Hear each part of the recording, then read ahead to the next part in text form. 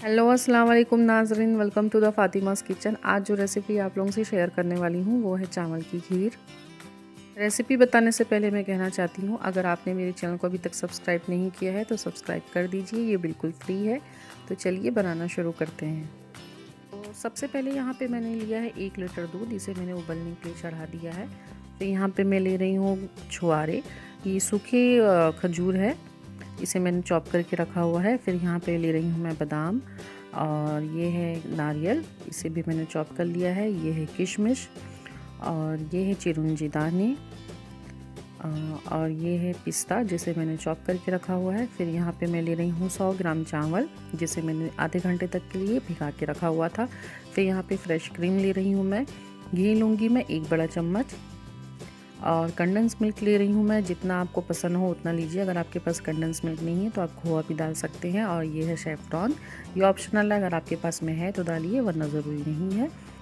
एक चम्मच लूँगी मैं हरी इलायची का पाउडर और शक्कर लेंगे हम स्वाद अनुसार। तो देखिए, दूध को मैंने उबलने के लिए पहले से चढ़ा दिया था। मैंने इसे 10 मिनट पहले से चढ़ा के रखा हुआ था। साथ में मैं इसमें सेफ्रॉन डाल दे रही हूँ, आधा छोटा चम्मच। अब इसे मैं 10 से 20 सेकंड तक के लिए इसी तरीके से छोड़ दूँगी, ताकि जितना भी सेफ्रॉन का कलर है, वो दूध में निकल के आ जाए। तो देखिए 10 से 20 सेकंड में पूरा जो सेफ्रॉन है, अपना कलर छोड़ दिया है और अच्छी तरीके से मिक्स हो गया है।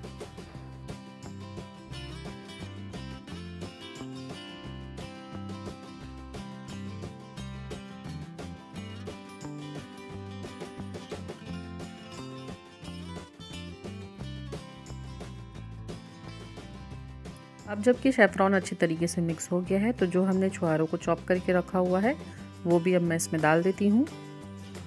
और फिर इसे हम अच्छी तरीके से मिक्स कर देंगे। छुहारा दूध में ही अच्छी तरीके से पक जाएगा, क्योंकि छुहारे जो होते हैं थोड़े हार्ड होते हैं, इसलिए हम इसे दूध में पहले डाल रहे हैं, ताकि वो सॉफ्ट हो जाए।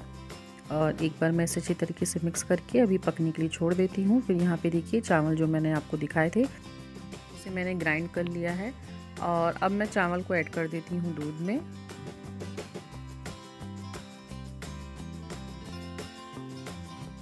और इसे कंटिन्यू हम मिक्स करते जाएँगे ताकि चावल के लम्स ना बन जाए और दूध में अच्छी तरीके से जो चावल है हमारे मिक्स हो जाए। इसी तरीके से आप भी इसे कंटिन्यू चलाते रहिए और मिक्स करते रहिए।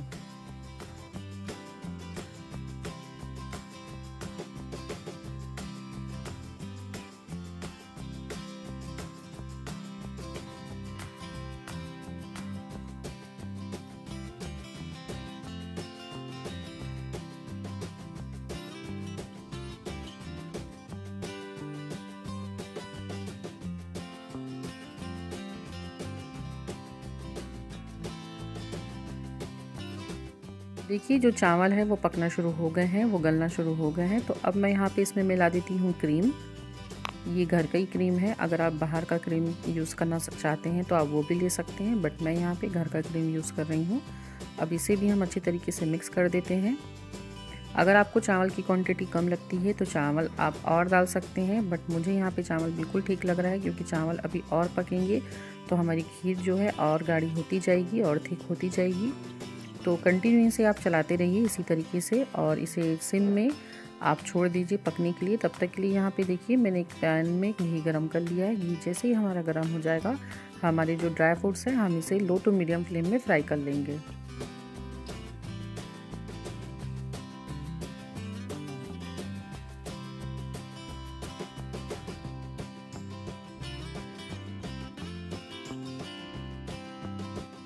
हमें ड्राई फ्रूट्स को दो से तीन मिनट तक ही फ्राई करना है।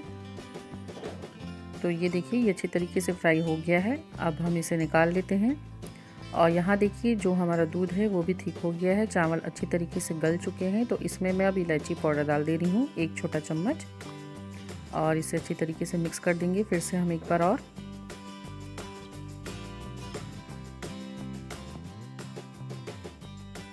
अब हम इसमें डाल देते हैं कंडेंस मिल्क। यहाँ मैंने चार से पाँच बड़े चम्मच कंडेंस मिल्क के लिए हैं।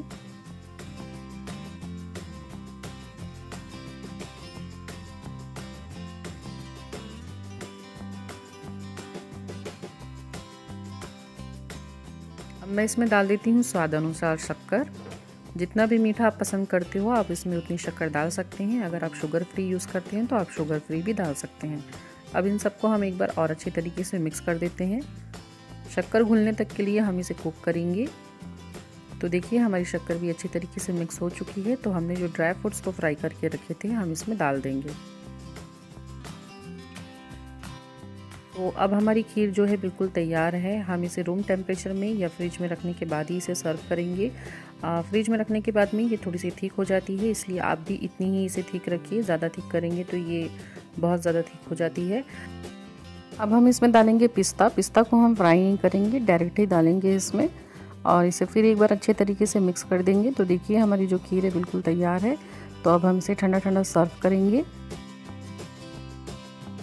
सो so, नाजरीन अगर आपको मेरी रेसिपी अच्छी लगी है तो प्लीज़ मेरे चैनल को लाइक कीजिए शेयर कीजिए और सब्सक्राइब कीजिए। साथ में बेल आइकन को ज़रूर दबाइए ताकि आपको मेरी हर एक नोटिफिकेशन टाइम टू टाइम मिलते रहे। अल्लाह हाफिज़।